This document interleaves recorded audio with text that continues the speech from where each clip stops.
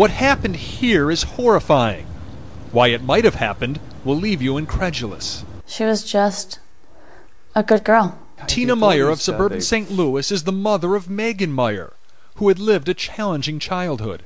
She got bullied in school, and uh, she had uh, big self-esteem issues. She had struggled with depression since she was in the third grade. Megan's mother and father allowed her to set up a MySpace account under their supervision and said their 13 year old swooned when she got her first affectionate note ever from a boy named Josh Evans. He thought she was really pretty, posted on her comments on her pictures, you know, this is beautiful, your eyes are beautiful. For about a month, Josh sent her instant messages saying things like, Lucky me and lucky you, 'cause you're my number one.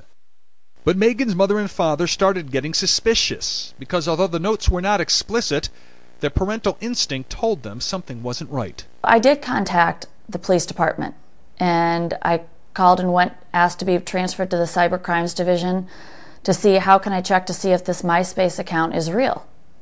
Nothing you can do. And then one day, it was a whirlwind. It was Josh saying horrible things to Megan, Megan saying things back to him. Nasty messages from a boy who just a day before meant everything to this lonely girl. One in particular cut deep. The world would be a better off place without you and have a shitty rest of your life. Megan was distraught beyond words. This is the part I'll never forgive myself for because she um she was looking for me to help um calm her down like I normally always did and be there for her and I was upset with her because I didn't like the language that she was using and um, I was upset that she didn't listen to me and sign off when I told her to and um, so I was aggravated with her about that and told her that she knew better. And um, she just said to me, You're supposed to be my mom. You're supposed to be on my side. And she took off running upstairs. It was too quiet for too long in that upstairs bedroom. Tina left, walked upstairs. I didn't really pay much attention to it. Um, and then I just heard a blood curdling scream. I just saw her hanging from her closet. When she just screamed, I was right there. Um, I tried picking her up. I uh,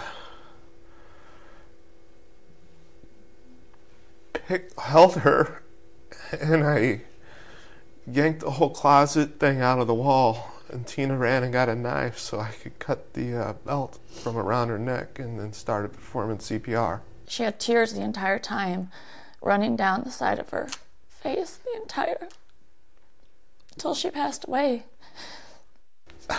Just like, please.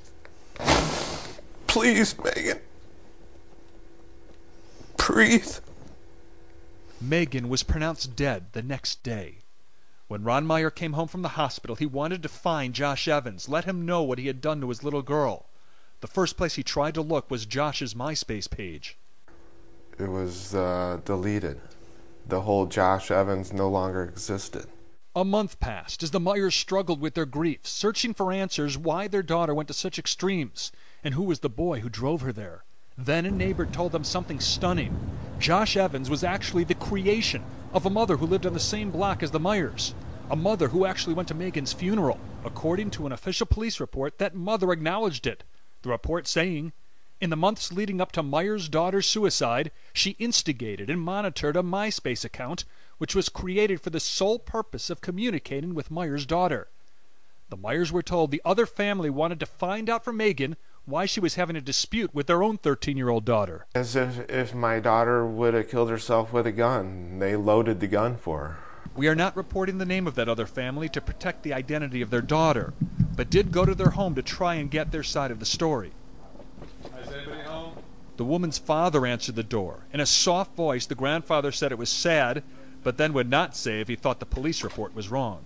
Have you talked to these people since then? Yes, I have. And what have you said to them? Probably things that I can't say on camera. And what have they said back to you? Give it a rest. Give it a rest. Now, at this point, if you're waiting to hear what law enforcement is doing in an effort to get Megan and her family some justice, well, you may be waiting forever. County prosecutors, the county sheriff's office, and the FBI say there is no indication whatsoever a crime has been committed, so there are no plans to do anything legally. After initially telling us they weren't even investigating the case anymore, the prosecutor is now telling CNN his office will review the situation. But more than a year has gone by since Megan hanged herself. Tina and Ron Meier, who have separated partly because of the stress, were told by lawyers it was best to stay quiet. But they no longer are. They are angry and feel they owe it to Megan to speak out. Maybe your story could help the welfare of another child. someday. Absolutely. That's what we hope. Gary Tuchman, CNN, O'Fallon, Missouri.